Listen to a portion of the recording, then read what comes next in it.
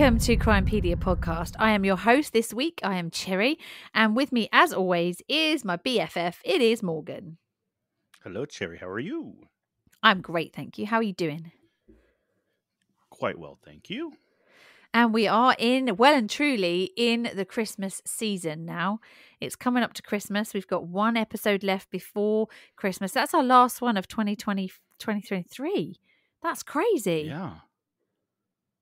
That's actually like quite just- frightening. The year just started. I know. It's come around really, really quickly. So yeah, we've got one more episode left next week. That'll be Morgan's episode.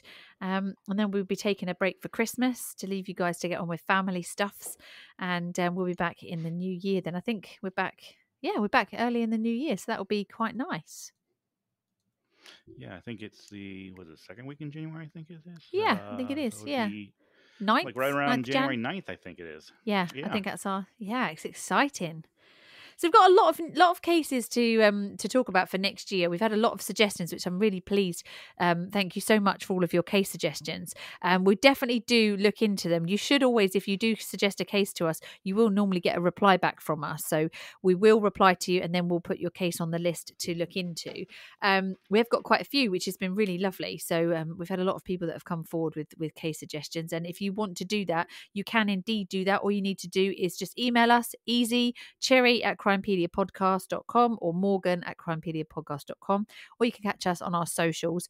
But i would say we're not that often on facebook. I have to keep saying that because i keep finding messages from people on there from weeks ago and i I haven't seen them. so i'm not being rude at all. Um it's just us. We don't have a team that manage our our um our social media. So it's just us doing twitter and facebook and everything else and or x as it's now known um and our instagram and stuff like that. So we tend to be most easily reached on instagram if you did want to message us so just just so that you know now, this week's case is a case, it's a, a more recent case for me anyway. You know how I like the old style cases. This is a case Mhm. that um, is from 1966. So it's quite recent for me. Wow. I know. recent. It is very recent for me. Um, and this was one that I came across when I was researching um, London. I was re- for, for another project, I was researching crimes in London.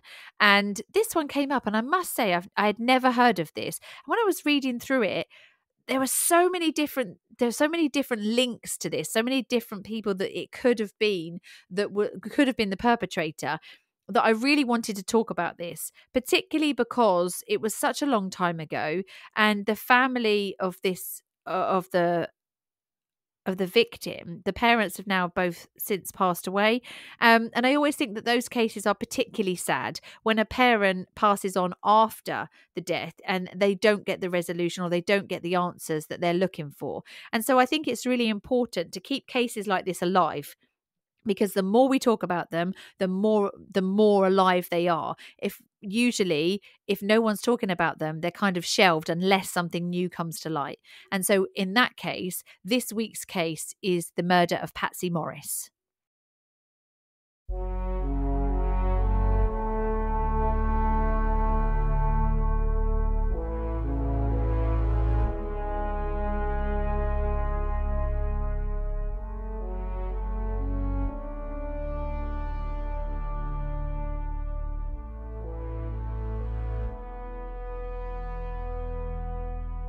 Teenage girls are full of mystery, hormones all over the place as they embark on the journey to adulthood.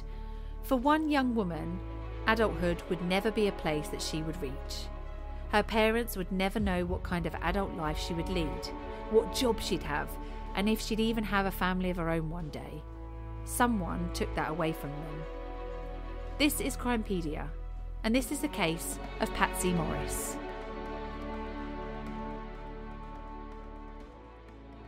Okay, Morgan. So Patsy was born Patricia Morris on the 10th of January 1966. She lived with her father George, who I've read different reports. Some of the reports say he was retired, a retired chief from the army. Um, other reports say he's retired and works, still works in the barracks. So I think I'm going to go with what the police report said, um, because again, I think that's most most accurate. And we'll go with the fact that he was retired uh, retired from his post in the army, but he still worked within the barracks. Her mum Marjorie and her sister and two brothers all lived together. She had moved with her family from Birmingham to Isleworth in southwest London. Now, she moved to a place called Cygnet Avenue. And they moved in 1979. And she attended Feltham Comprehensive School with all her siblings, all went to the same school. Now, on the 16th of June 1980, she was 14 years old. She was blonde, she was bubbly, she had lots of friends. Um, she wasn't as far as we know from the reports that we've got from friends and things, she was quite an outgoing girl, but not over the top outgoing. So people knew of her, but it wasn't like she was like the life and soul of school, if you know what I mean. Now, on that day, Patsy left her school during lunch break. She told her friends that she had forgotten her raincoat that morning and she was completely soaked through. She had decided to go home at lunch, get her coat, get changed Mhm. into dry clothes, and then she would go back to school for the second half of the day. So a witness recalls seeing Patsy soon after noon that day near her home, and I believe that this was a neighbour. There was another witness who recalled seeing a girl who may have been Patsy crouching at a bus stop on the Hounslow Heath side of Staines Road. Now, this is just west of the Hussar Public House, and they say that they saw her there between 12:20 and 12:40 p.m. So this would be like the lunch break. Some schools will break up for lunch between sort of half past 12 and half past 1 um, and both of these witnesses recall seeing her around noonish between sort of noon and 1 o'clock. So we've got like an hour window of where two people think they might have seen her okay? And this was the last sightings that we have of patsy now, Patsy had double Mm. history that afternoon, and there have been suggestions from friends of hers that she hated that class and would regularly bunk off. So she would regularly skip that class and go somewhere else. And there was suggestions that perhaps that day the the wet coat and that kind of thing was just like a ruse to be an excuse for her to leave school. And I can understand that. You know, when you get to school and you're a teenager and you get a double a double class in the afternoon that you absolutely hate, you can kind of use that excuse that oh i'm soaking wet through i need to go home and change and something happened and i couldn't get back to school Yeah, right, right, right. so the two sightings of patsy near her home and crouching by the bus stop are the last sightings that anyone had seen because she failed to return home from school that day now, her siblings, obviously all in the same school, she didn't meet them to walk home. They didn't know where she were, um, where she was, sorry. And her parents then began to get worried. So they called the police and reported her missing. Now, after she was reported missing, police launched actually quite a large operation to find her. This involved hundreds of police officers. They took this quite seriously right from the beginning. They had helicopters out to look for her. They had members of the public who volunteered to help look for her because she was at the time only 14. This is in 1980. So she was a, you know, she's a young girl. She's missing from her home. It's not her usual thing. She wasn't the sort of kid that would like truant and not come home.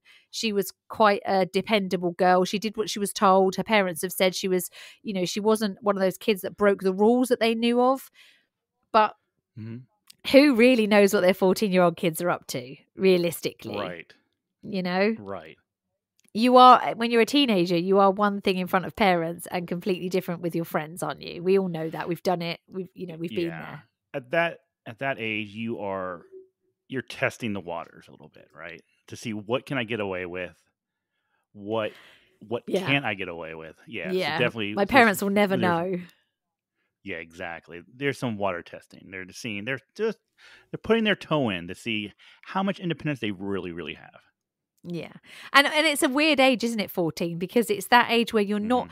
you're not an adult you're not quite uh, like an older teen you've just come out of like preteen so you're kind of like you just you're just learning you're learning the way of the world aren't you and it, it's difficult because 14 year olds don't always make the best decisions Exactly. Yeah, especially here, it's a weird time because usually like 13, 14, um, with how our school system's set up, that's usually like you're when you're 13, 14, you're in eighth grade. So middle Right. school, right? yeah Eighth grade's the last the last year of middle school. So you're at the top of the food chain, right you know, the okay hierarchy. yeah And then you quickly move on to high school where you're right back to the bottom. So yeah, so so for a very short period of time there, being a you're 14 top year of the old, tree you feel like you, yeah you're top of the tree. You feel like, you know, here I am. I finally made it, Yeah. and you're about to hit the ceiling. And I know everything. right I'm grown down. up. Yeah. Yeah. Mhm. Yep. So here in England, um, 14 year olds are in sort of year eight, year nine. That's 11, yeah. Okay. So about year eight, year nine. Now, uh, as as the parent of a teenage girl, year nine, I must say, is the most testing year as a parent of a teenage girl. It's the year Yeah. where they're not quite because obviously we start our secondary school in year seven. So you finish you finish primary school, you start secondary school in year year seven, which is about eleven years old. So when you get into year 9 Mhm. you've been in school a couple of years, you kind of know everybody, you know everything. You're not quite top of the tree, but you're not that new kid anymore.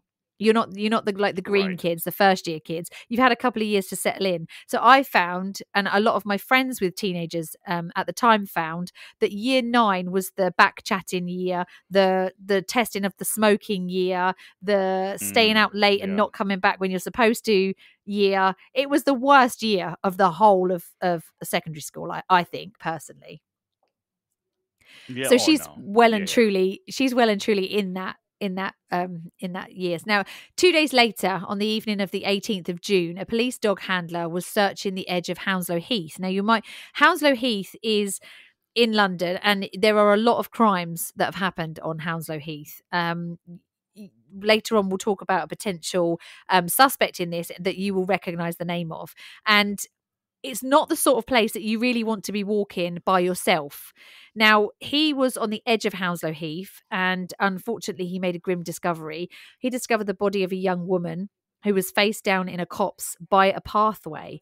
Now, the location of her body was a quarter of a mile from where she lived, from where Patsy lived. It was a five minute walk from where she lived, and it was Mm. on the route between her home and her father's workplace, which is at Cavalry Barracks, which is next to like a golf course.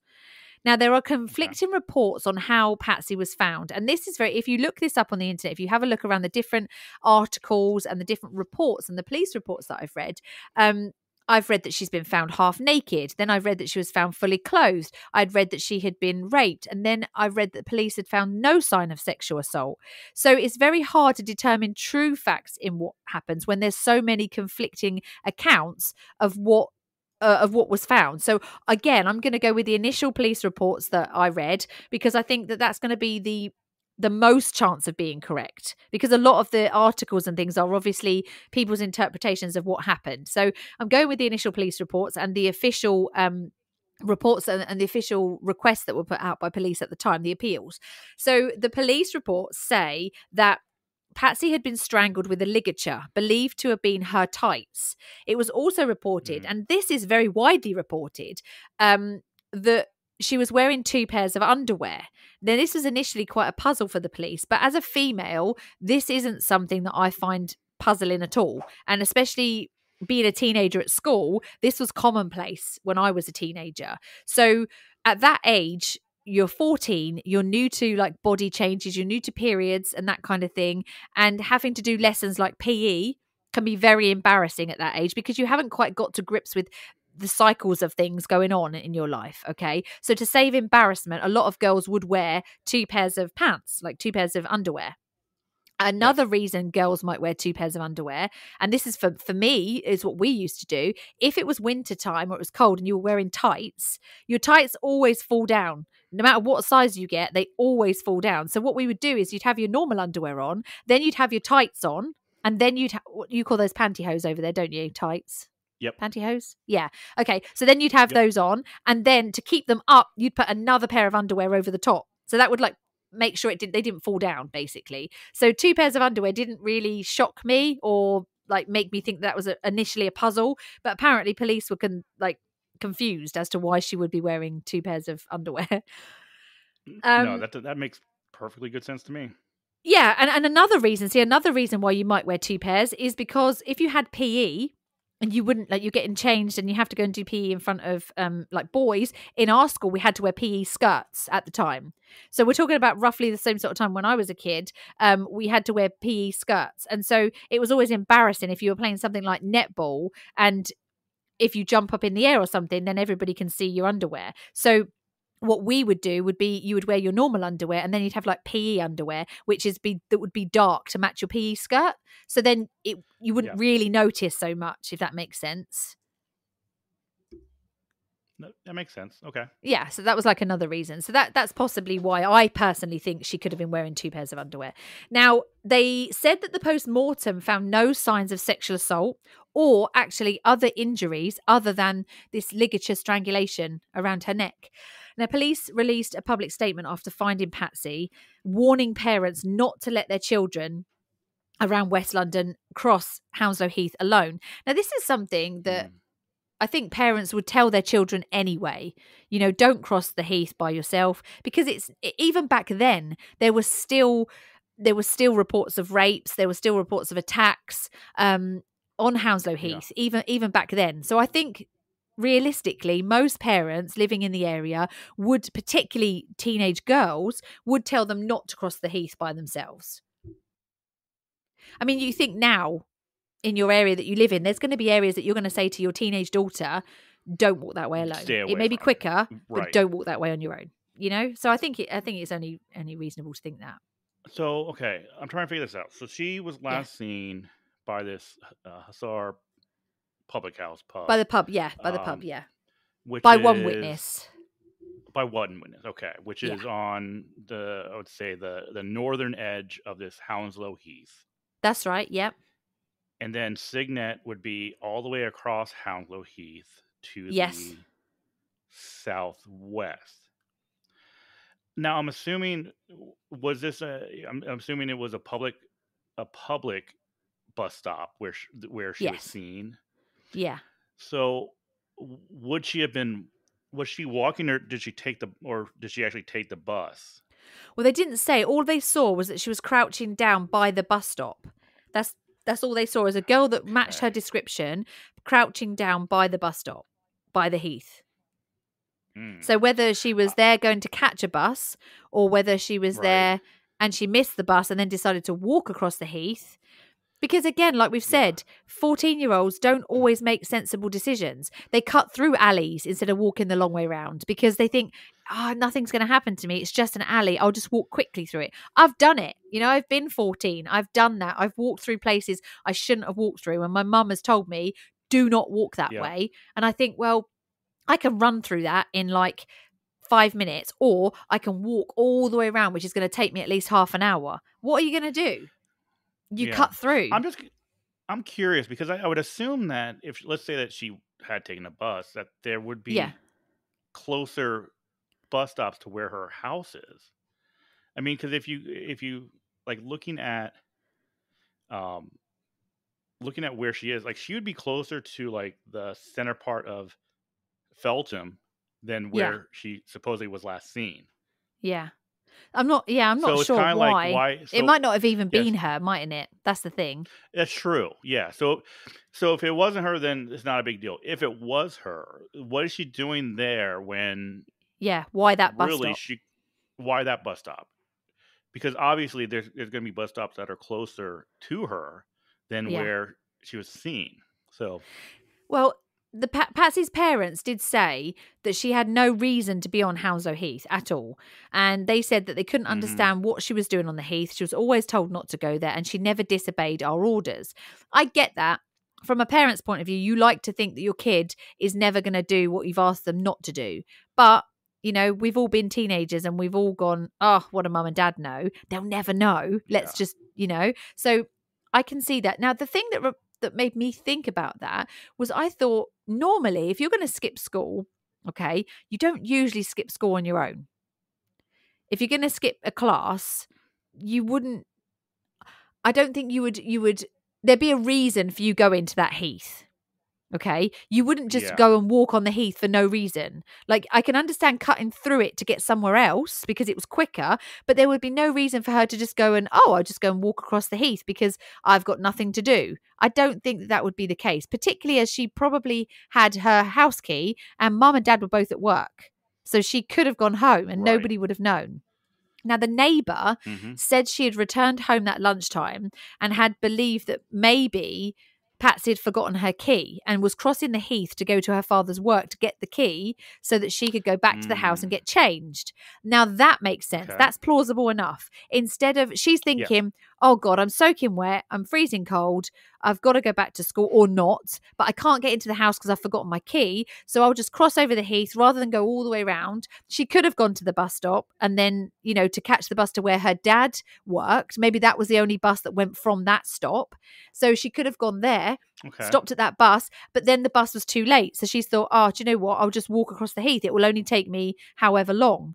So Right. that sounds like a plausible enough um, reason for her to be on the heath. But that's if she was going home to get changed. If she was going home to bunk off of school, I wonder if she was meeting somebody. Yeah. And Um, if that person doesn't have great intentions, the heath would be a good place to meet her. You know? Because even if it was a teenage boy, um if it's going to be somebody who's a little bit edgy or a little bit out there, somebody who she's not supposed to be seeing or you know she's not supposed to be being seen with, probably the heath would be a good Yeah. place to go because people aren't going to be just randomly walking across the heath. So there's less chance that she's going to get caught meeting that person because they're out the way, you know? yeah. And I only think this Okay. because of my own experiences. When I was a teenager, to walk to school, I had to walk across a massive heath to get to school. And hmm if I walked the long way round, it would take me almost an hour to get to school. But if I cut across the heath, that which my mum would say you only do it with your brother or if you're walking with somebody else, it would take me 15 minutes. And I will admit the amount of times I've walked across that heath on my own because it would only take 15 minutes and I didn't want to walk the full 45 minutes all the way around. Right. And I did it loads of times. And I've also met people I shouldn't have been meeting on the heath, you know? Cherry. I know. Shame. Bad teenage me. But that but that's what makes me think I wonder if she was meeting Yeah. somebody, you know? Because that would also make sense. Okay, so just thinking about this, and Yeah. let's say that okay, let's say that yeah, either one. Let's say that either she's meeting someone and she's going across the heath, or she's walking to the barracks because Yeah. she doesn't have a key. Yeah. Let's say the sighting of her across the street from from the hussar is Yeah. valid, which for some reason I kind of feel like it would be because it, you think about this how many how many 14 year old girls are you going to be seeing in that area at this time when school's in session right Yeah, that's true. you're not going to be seeing a whole whole lot right? So if someone I I- i just have this feeling okay if someone saw saw a 14 year old girl right there chances are it, it probably was patsy. That's that's what i'm kind of feeling feeling like. But here's Okay. the thing. Let's say that, that that sighting is valid and that would indicate that she's already crossed the heath once. So if she was gonna go to her dad's you know work to get to to get a key yeah. that would mean that the dad would would have seen her Yeah. and then she would have then something would have happened to her on, On the way back. Yeah. I get what you're saying. so we know for we, we know that dad didn't see her he, she didn't go to retrieve her key no, she didn't so if she him, made it that's to heath then then what happened did someone you know did someone get her on her way down you know walking down the street and take her back into the heath Yeah. or Yeah. like you said was she going to meet someone Hmm. Well, the police questioned all of Patsy's friends and her classmates, and they Mhm. tried to find out what her movements had been. And to be honest, most of the kids didn't. All other than saying, well, she didn't really like history, so she would usually bunk off of history, and she, you know, she wouldn't be in school for that. There wasn't really anything that anybody, um, you know, dobbed her in about. There, there was no kind of like friends that talked about a secret boyfriend or the fact that she talked about a boyfriend or anything like that. So the f talking to the friends kind of drew a blank really. They they didn't really have much to offer. Now on the 22nd of june which was two days uh, four day sorry after she was found dead a detective on the investigative team told the press that they felt that another youngster playing truant could hold key information on the murder. Now, there's not a lot of information on this youngster that they're talking about, other than the fact that they are saying that they believe that one of her friends may have a lot more to say than they actually are. Um, in December of 1980, the police had some information come forward and they publicly appealed for a driver of a blue van with a telephone in it to come forward. Now, back in the 80s the only like vehicle telephone that you could get was kind of like a big box telephone um and it was it, i mean in england if you've ever seen del boy and his um his his telephone it's this huge box with a massive antenna on it um and it, and it's like in is it ferris bueller's day off doesn't he have one in there in the car he's got this huge like car phone Uh, yeah, no know what you're talking about. Yeah, yeah. mhm. yeah, it's like a satellite phone. So there's not very many of these. We know that there wasn't a lot of cars or vans that had a phone, a satellite phone in it. Now they appealed for this Yeah. driver because the guy was seen using the telephone handset in his van near to Patsy's home around the time of her murder. And the detective said that he could have seen something that would help the investigation. So not that he was be a suspect as such, but he might have seen her. But as as such, nothing, nobody came forward and, and nothing happened with that information. By this point, police had only managed to trace nine out of the 22 people who were playing golf that day on the course next to where Patsy was found. The detectives Hmm. also appealed for their help to trace a five foot 10 inch man who had dark grey in hair and who was wearing a dark suit. There's, again, not a lot said about him either. So, again, because we've done cases before where you have a um, a golf course involved where there's a lot of people that aren't always accounted for. I'll give you golf as Right. such a bad name, but you know it's um people do go on golf courses that aren't playing golf. You know those sort of areas are places where you do tend to find some not so great things happen. You know.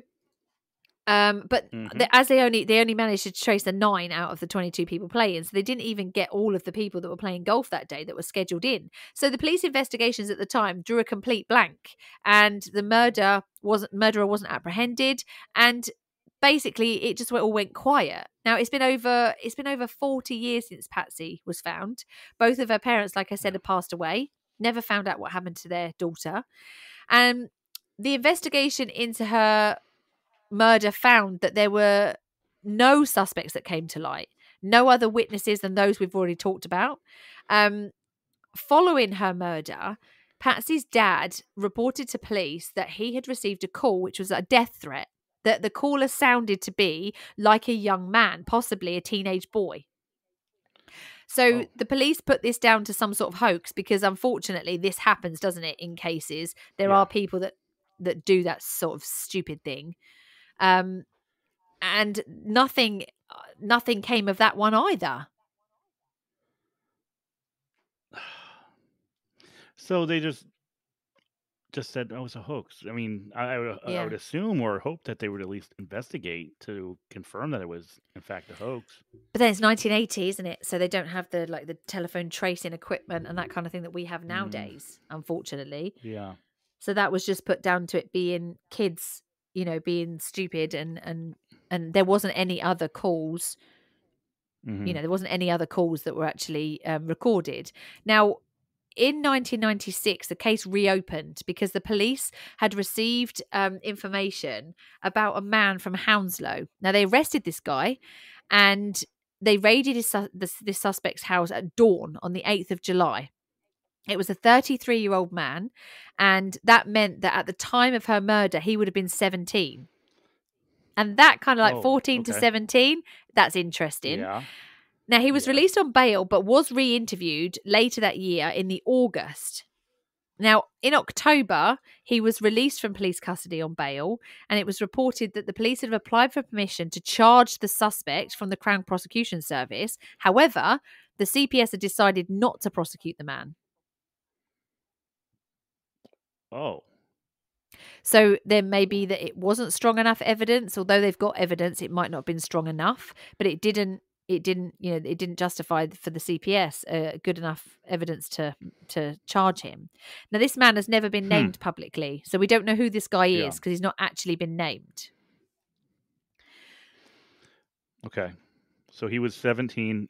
She was at the time. Yeah. Okay. Um, So that's interesting. You know, we were talking about perhaps she was meeting somebody. That is quite interesting. who it's she a wasn't good supposed age. to be meeting. Yeah. Possibly. Yeah. Okay. Now, in 2007, Patsy's murder was considered to be linked to the serial killer Peter Tobin. Now, we know that he was Okay. found to have killed three women between 1991 and 2006. We know Peter Tobin's MO. We know how he used to work. We know that there was, you know, strangulation and, and sexual assaults Yeah. with him. Now, police that worked on the Time Tobin murders off. believe. Yeah, well, the time frame is off because obviously, but we do know that police believe that Peter to- Tobin has has been responsible for a lot more murders than he's actually been connected to. Uh, like a lot Okay. more murders. If you ever go to Okay. David Swindle's um show that he does, um, you'll realize just how many people they think he's responsible for hurting in one Mm, way or okay. another because he does have victims that didn't die. He does have victims that he has assaulted and raped and sexually assaulted that haven't come forward because they're too embarrassed. Was he was he ever active in this area? Well, he's not far. I mean. Peter Peter Tobin was throughout the whole of the country. So I think the police police Okay. just looked at this because he went from like Scotland all the way down to like Margate, folks, and that kind of area. Right. So you it, it would be he it would be kind of on the way down the country. It's it's possible that he was in London. Um London's very central to, to you know to everything and he I think he did have I think he was living in London at some point if I remember rightly. I think he was living in in London at some point. But it Mhm. was reviewed as part of the investigation into un- other potential victims of Tobin, which was Operation Anagram. We know that, um, and the invest- the investigation was wound down, I think, in 2011, and they found no evidence that conclusively linked him to Patsy. So I think it was just one of those things that they were just looking at it, and obviously they have to consider that she might have been because of the, you know, because of the, the fact that he was active in that time. Now, a Okay, new okay. suspect was arrested in Patsy Morris's case later in 2008. Now, this was nearly 28 years after she was strangled on Hounslow Heath. This was a 42 year old man who walked into a police station in Norfolk and told officers that he had killed her back in 1980. So, Detective Chief Inspector Howard Groves of the Barnes murder team said this individual claimed to be responsible of the murder of someone in 1980 on Hounslow Heath. So, as a result of our inquiries, we came across the murder of Patricia Joyce Morris. He was therefore arrested for that murder, brought to a police station in London, and then investigated. Now, he was released on bail and the charges were dropped because, according to local media, their reports say that he was believed to have mental health issues and he didn't actually Mm. have anything other than what was read in the paper. Okay. So I think quite conclusively we can discount him because he didn't know anything about the crime scene other than what was released in the press. Okay. I agree with that. Yep. So here we go again. In February 2008, police were alerted that serial killer Levi Bellfield had confessed to a cellmate whilst on remand in prison that he had killed a young girl when he was just 12 years old. He had been convicted Okay. of two murders and attempted murder at the time he was on remand. The attacks had been committed between 2003 and 2004 in the vicinity of where Patsy was found. So we know that he was a prolific user of the Heath. Okay.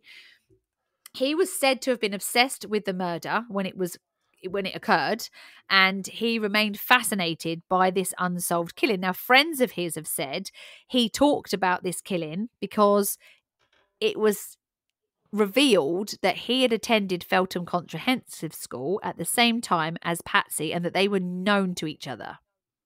Now, some reports will Oh. say that he was her childhood boyfriend. However, Patsy's family told the press that they had not known that they had even known each other. They, um, her sister Nicola said, "We didn't know him. Um, it was a bit of a shock Mhm. to us when we found out that they knew each other, and friends of hers told us about it." This is horrendous. Obviously, that's what she's thinking. Now, in 2011, Bellfield was convicted of the murder of another schoolgirl, Milly Dowler. Now, he had abducted and raped her in 2002. Bellfield would have been 12 years old at the time of Patsy's murder, which occurred a year before he received his first conviction which was burglary aged 13. So his first his first police conviction, he was 13 years old when he was carrying out his first crime that he got caught for. So it's not Yeah. necessarily the first crime he's ever committed, but this was the first crime that he got caught for. Okay, and he was 13 years old. Now we also know that he repeatedly played truant from school and was Mhm. often known to frequent Hounslow Heath when he should have been at school. So we know that it's his stomping ground. We know that he had also committed murders, you know, on Hounslow Heath. We know we know that because he's been convicted of those and he's now in prison for those murders. So we know that he knows that area very well. Right. Former partners of Levi Bellfield have said that he had a hatred of blonde women, women, sorry, and he targeted blonde women for his attacks, which we also know to be true. There has been speculation that Patsy's death was the beginning of Bellfield's violent obsession with blonde women. Okay. Wow. Wow. So that's that's interesting. Mm-hmm. Okay. Now, Yeah, I oh, the thing is with Levi Bellfield, okay, is that he is one of those people that loves to be in the limelight. He is very egotistical. He's very arrogant, and we know already that he has also he's also admitted to other crimes. And we we talked to Colin Sutton about it, and he'll tell you Levi Bellfield has also said that he's done other crimes that other people have been arrested for. So Right. he after it was revealed that Bellfield was being investigated um, by police for George's daughter's murder, he said he was certain that it was a teenage boy who phoned him that time and gave him the death threat. mm-hmm. And he said it was a local man because it was a local accent. Levi Bellfield is a local local man. He had a local accent. It's terrifying to think that somebody of 12 or 13 could have done that. Now, Levi Bellfield is a big man. If you've ever seen him, he's I think he's like I think he's like six foot odd. He's a big man. Right. He's a broad man. He's a very strong man. Now, I wonder at the age of 12, I know some like 14 and 15 year olds that are almost six foot tall, that are big, that don't look like they're early teens, you know? So I wonder, Yeah. Eh, what was he like as a teenager? Could this possibly be that he did know her? Could it possibly be that they they did know each other and that she was going to be walking across the heath when he came across her, which is his mo? We know that because we know he's been put in prison for that before. But yeah. I'm going to however you now, like you do.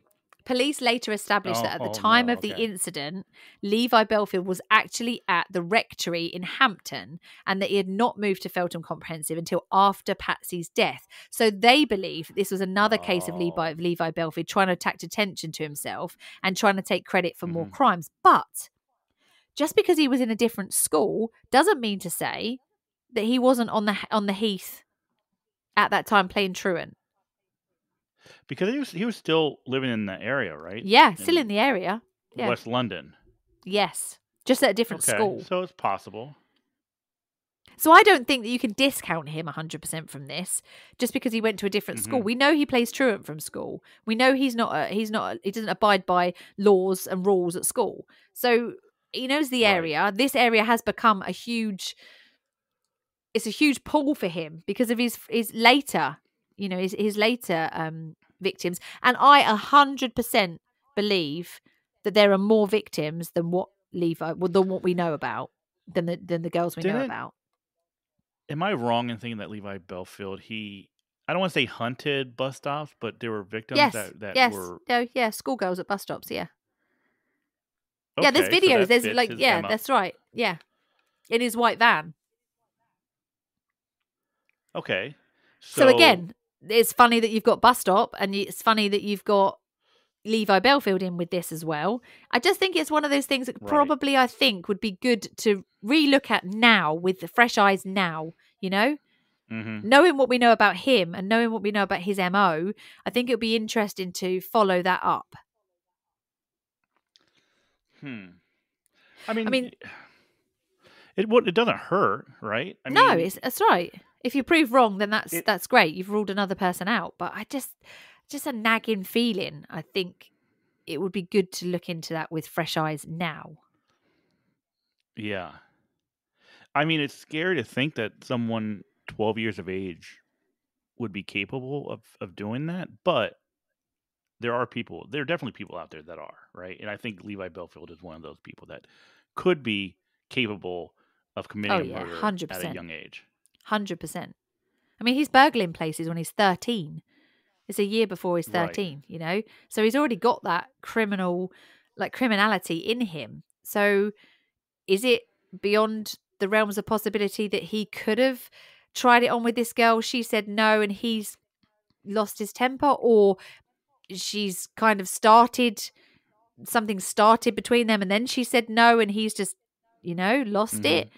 We know what kind of temper he's got. We know how cruel he is. We know how vicious he is from the crimes that he subsequently committed in later years. So, could this be that this was one of the first times that he's every every serial offender has to start somewhere. You know, there has to be the yeah, first exactly, the first case. The first case might not necessarily be a murder, but you know how things Mhm. escalate up into that. Could it be that this unfortunately could she have been one of his first victims that and why why would he talk about a 12 year old girl on hounslow heath dying? Why would he talk to a, Mhm. a cellmate about that? I mean this is a 1980 murder. Why would he be bringing that up at the time he was in, in, incarcerated on on remand? Why would you bring up something from 1980 if you didn't know anything about it? You know why why would you admit to that? I mean how would you know about that? You're 12 years old how would you know that there was a girl that was But- murdered there that you you know, We're talking about know. Levi Bellfield, who's a completely different different person. He's different from us, right? This could he could have yeah. seen something in the newspaper about it and became Yeah, absolutely then obsessed, just- or saw something on the news Yes, and was has yeah. been obsessed with it ever since. Like that might have been, it might not have been him, but that could, might have been the you know, catalyst yeah of course something the yeah. catalyst, right? So he gets obsessed with it, and he's like, "Oh, I wonder what that's like," and then Yes. you know, it, Yeah, it- very it true. snowballs from there. Very true. I mean, friends of his from I've- school have said that he was a he was obsessed with that Mhm. murder. So you're very right. He could have read about that, and that could have been what sparked his.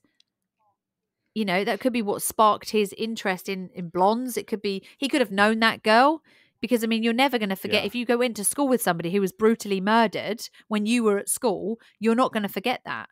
As an adult, you're not going to forget that story, are no, you? yeah, So right, right. could it be that Mm-mm. he's you know he's he's heard about it and then he's just bragging that he was responsible possibly I did that too. Yeah, like look how yeah look how evil I am.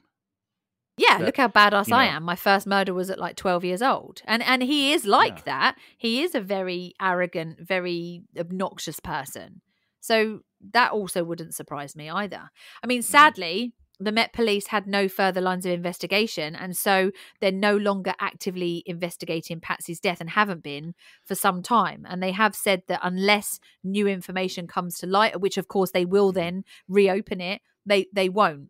Now I looked into which serial killers were active because I wanted to see if there were any. I mean, obviously we've got the Levi Bellfield connection, which I thought was the strongest out of all the the ones that they actually Yeah, I mean, they even they even um there even was a point where somebody tried to say that it could have been Dennis Nilsen, but when we don't, we know that it doesn't fit Dennis Nilsen's mo at all, no. and he was just active at that time, you know, in London. It wasn't as if he was in the area. It wasn't as if she, you know, she's a teenage boy or something. We know that Dennis mm-hmm. Nilsen, it's not his MO, and I don't think he's got anything to do with this whatsoever. But I did look in to see if there was anybody that was active at this time that possibly had some kind of similarity to this. And the only one I could find was the murders of Eve Stratford and Lynn Weedon. Now, Eve Stratford was in March 1975. And Lynn Weedon was um, September 1975. Okay, so I think Eve was March 1975 and Lynn was September of 1975. They were two young women okay. murdered in separate areas, but they were sexually motivated. They were in London. Um, Eve Stratford was a bunny girl and a model, and um, Lynn Weedon was a schoolgirl. And they, she was killed on the other side of London. Now, Lynn Weedon's case was reopened in 2004 because new DNA techniques revealed that she and Eve had been murdered by the same person. Okay. okay. This Yeah. Eve Stratford's case was then reopened in 2007, but neither case has been solved. But they're very similar in MO to Patsy's strangulation deaths, uh, but those are sexually assaulted, which made me think it's only five years before Patsy's murder, okay? That Mhm. this happened, that these two ladies were successfully murdered, okay?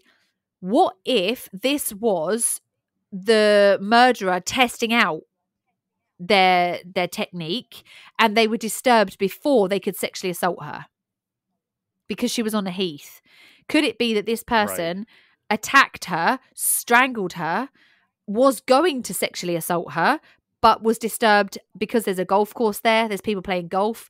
Could it be that that person was actually disturbed before he had the chance to do to her what he did to lynn and, and eve? Yeah, true. That's the only other deaths of similar, like a very similar, like mo that I could place in the area within sort of like a, a you know a, a five five to ten year period. It's the only two I could find that were very similar. And if hopefully I've done my research well enough, but that was the only two that I could find that were remotely similar. I don't know. I just um I just thinking about all of this. I mean, I think Levi Bellfield is is interesting.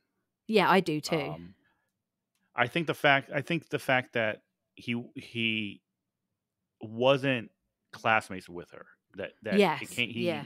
he went there after that kind of you kind of have to take a step back from that a little bit like if it was like yeah, Yeah. they were they they were in the same school together they knew each other they hung out together they were girlfriend boy okay obviously if, if that's the case yeah 100% yeah, i think yeah. you need to take that very seriously yeah. um, I agree. There- something about this just to me seems like a it was a stranger attack so someone that she didn't know. Yeah, i keep i keep thinking about the description at, at the the bus stop. Yeah, and i think you you said that that she was seen crouching yes, right? Yeah, and so when i when i picture crouching i i immediately think hiding like you're hiding from someone right possibly. someone yeah.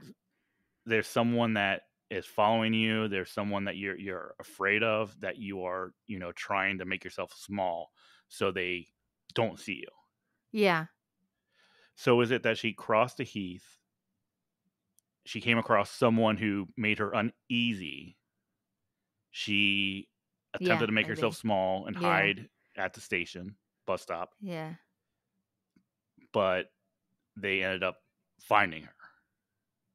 That's what it kind of sounds like to me. I, I mean, I Yeah. could be obviously completely wrong, but there's just something about that which it just, I think, I think that eyewitness is, I think that's a that's a very important piece to this of what so she was I would like to speak. To, I'd like to speak to that witness because, I, and I'd like to see what the bus stop looked like because back then Right. it could have been just literally like a lamppost with the bus stop sign on it. So it could have been like that, or Mm, it could have been one of those bus stops that have got a roof on it. So it it depends on. It would be interesting to know what the bus stop looked like that that, that she was allegedly seen at. Mhm. um and it would also because sometimes some bus stops back then didn't have like seats on them. Nowadays quite a lot of them have like a rail that you can sit down and wait for the bus. So i'm wondering was she crouching down because her legs were tired and because she was waiting for the bus and there's nowhere to sit so she's crouching down because she is waiting for a bus? I mean she's 14 so an adult wouldn't do that but a child probably would.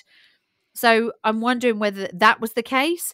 Um for me i I just have this feeling looking at what we're looking at. I've got a feeling she's left school with the ruse of I'm going to change my clothes and possibly is is then meeting someone, whether it's like a love interest or just someone, I think. And I Yeah. think things have gone a bit a bit strange from there. And either they've met on the heath, they said goodbye to each other, and on her way back, she's been attacked by somebody, not necessarily the person she was meeting, but I've got a feeling that there's a reason she went on the heath. She knows she's not allowed to be there. She knows that. I've got a feeling that there's a reason she went to the heath. I don't think this person has like accosted her from the street and dragged her onto the heath because she's quite a ways No. in. So there's a reason she was on that heath for whatever reason. You know, Yeah, and and I I don't just think someone's gonna. I don't think someone's going to take the chance of grabbing her and pulling No, her no, I don't into the think so heath either. off the street. No, I don't this think so. would have happened. I think where it happened is probably where she was grabbed. Yeah. Yeah. I agree. I think it, I think there was a reason she went onto the heath. There's got to be a reason she was up there. She knows she's not allowed to be there. Everybody knows young girls shouldn't be walking across the heath on their own. So I I think that she there's a reason that she was on that heath. Yeah. Whether that's meeting somebody or whether that's just trying to cross over to get to her dad quicker, whatever reason that is, something has Mm-hmm. happened there. And and that's what's that's what's happened. But that's all we know. So and I would really like for this case to be talked about more. And I would really like the I would really like the connections between Levi Bellfield severed or joined if we could do that because I Mhm. think that th- this girl has still got a family that you know that she's still got siblings that wonder what happened to their sister and that's a horrible thing to have to deal with to not know where your sister is but also to know that she met such a gruesome and an awful end and i really think that they Right. need people talking about this case to, to get fresh ideas fresh eyes on it because i think it's a solvable case. No, I, it's solvable, depending on what evidence has been kept, yes how it's yeah been kept, yes and what can be tested. Yeah, I mean, I I think this is one of those cases where it comes down to: is there any testable Yeah. DNA available? Is there anything? Wouldn't that be amazing if there is? The pantyhose. Yeah. yeah wouldn't that be that's, amazing that's what one of these cases are. It, Yeah. I think it, it it'd be very difficult to convict anyone with, without DNA at this point. Oh, I far down the agree. Yeah, I agree. But even if the even if the family had a, it's it's most likely that this has happened. Even though I understand, you know, you're not going to get a conviction unless somebody confesses and they can give you stuff that was at the crime scene that you nobody else Specific knows. information. Yeah. Yeah, that's the only way that you're going to. Yeah, and I think that it would be good for the family at least to have some kind of idea what happened to her because it's a horrible Yeah. feeling to have to grieve for that person and and have that unanswered all this time. But that's this week's case for you. Well, thank you very much. Hopefully, um, people out there will start talking about it, and Yeah, hopefully, it can get solved sometime soon. fingers It's crossed. been long enough. Yeah, definitely. So at the end of every show, as you know, regulars listening in, we like to lighten the mood a little bit, and we like to do something that we call effective, effective, effectively, no, affectionately, Effectively. dumb criminal. Hey, criminal, use a dummy. All right, Sherry. So this week we definitely have a dummy. Um, okay. there are people out there that I think take McDonald's Happy Meals toys a little too seriously. Okay. Okay. this is one of those cases. So, a, a man at a McDonald's in Nova Scotia was quite unhappy recently when he was given a donkey in his Happy Meal instead of a pack of Pokemon Man cards as expecting. Oh, Okay. okay. So he was not happy about getting donkey, especially since this was the second time in a row that he got the donkey and not the Pokemon cards. Okay. So the man believed that the store had still had a whole rack of Pokemon cards that they were hiding, and he pointed to a display that was used for the promotion, demanding that he be given some of the cards or a refund for the Happy Meal. Okay. Oh, come on. After claiming that he had been given a donkey toy two times in a row, the man, dressed like he was uh, he's ready for a hike, he threatened legal action against the fast food restaurant. what? now, obviously, he's uh, he doesn't sound like he's the bright brightest bulb, so I don't know what legal action he would have to uh, to go No. off of. no. So when they refused to give him Pokemon cards, he started yelling that he wanted to press charges on McDonald's. At that point, a manager insisted that the customer leave and that the that their location was simply out of Pokemon cards. This man decided on. to start using fists to show his unhappiness and he began punching the manager What? in the face Oh, Because over once again- Pokemon cards. he did not get Pokemon cards. Oh, that's terrible. That's really bad. so so while the so while this happened a uh, another customer happened to to step up and he he uh, he basically went toe to toe with the other customer and they they had a few rounds of uh, fisticuffs over over Pokemon, Pokemon cards. cards. That's ridiculous. yeah so So this guy, I wish I knew his name. We don't. Unfortunately, we don't have his name. But yeah. So um, Pokemon cards are not that important, bro. No, they're really And not. maybe And why are you buying Happy part- Meals anyway? You're an adult. exactly, and especially you think you're gonna get like a, a million dollar Pokemon card from McDonald's? No, No. man. No. It's not that big a deal. So yeah, going going to jail over a pack of Pokemon cards, How sir, embarrassing. is not the smartest thing. the What did you do? So- Armed robbery. What did you do? Oh, fighting McDonald's over a Pokemon card. Pokemon card. oh, thank you very much. I don't you for think- that. I don't think there has been a McDonald's toy in a, in a Happy Meal that I've been like excited about since I was about eight years old. No, I don't. You I, to be honest, I can't even remember what the most exciting McDonald's Happy Meal toy is I've ever got. To be honest, I don't. I can't remember. None of them have been that special that I've been really that excited. It's a bit crazy. They need to do like I don't adult adult. McDonald's ones where you get like little shots of like alcohol or something, something a bit fun at least when you're an adult, you know, or like an extra yeah yeah yeah day off work or something. You can win like we'll pay for you to have the day off work or something like that. They're not even worth fighting over, you know. But a Pokemon card, you- Yeah. like you say, you're not going to get million dollar Pokemon cards in in a in a Happy Meal. So why are you even trying?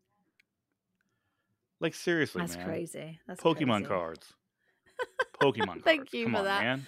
Oh, well, that's it for us for this week. We'll be back next week with another episode for you. It's the last episode of the year, and it'll be Morgan's episode, and we will then see you in the new year after that. So for now, be nice.